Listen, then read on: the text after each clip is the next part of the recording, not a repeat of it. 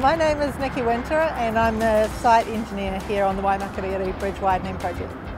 So the Waimakariri Bridge is actually two bridges. We've got a northbound bridge which has two lanes and we have a southbound bridge which has two lanes. Each of those bridges is going to get a new lane. So we'll have three lanes southbound and three lanes northbound. The old bridge was built in the late 60s and it was built with concrete pier heads that were wide enough to accommodate extra lanes through the middle of the two bridges. It did need extra strengthening because um, the concrete doesn't meet current code so we have had to add extra steel in but it was built wide enough to accommodate the new lanes. On the downstream side of the southbound bridge there's going to be a shared user path for cyclists and pedestrians.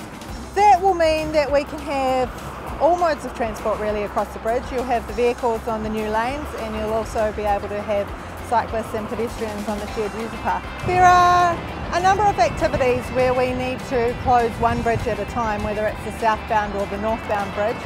So what we do in that case is we contraflow traffic onto the bridge that's still open, which means we have one lane of traffic in each direction on the open bridge while we're working on the closed bridge. We'll do that if we need to lift beams over the bridge or if we need to pour concrete on the new lanes for the bridge. If the river floods, we often need to reclaim the beach that we've lost uh, for access to the, the bridge piers. In advance of a flood, we are monitoring the river every day. We monitor the weather and we also monitor the rainfall up country of us. And we would clear all our gear out of the riverbed if we know that there's going to be a flood coming through. So we would move all our um, machinery to higher ground. If we know it's going to be a big flood, we'll move everything out um, beyond the stop banks. The thing I like most about my job is the variety and the team that I get to work with. We've got a really experienced group of people here with um, different areas of knowledge and it's been awesome to get to learn a bit from each one of them and to see their expertise in action here on the bridge.